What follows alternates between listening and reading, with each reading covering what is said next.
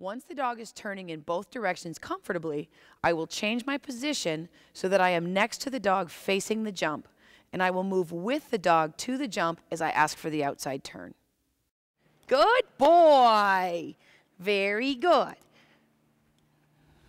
Okay, right. Good boy. Very nice. Ready? Okay, left. Yes. Good boy. Ready? Okay, right. Yes. Good boy.